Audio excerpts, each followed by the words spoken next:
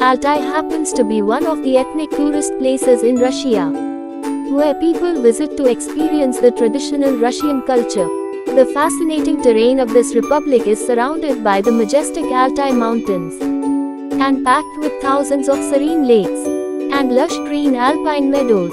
A major part of the Republic of Altai makes for protected areas with biodiverse reserves created to house umpteen varieties of wildlife species, including Argali mountain sheep and snow leopards.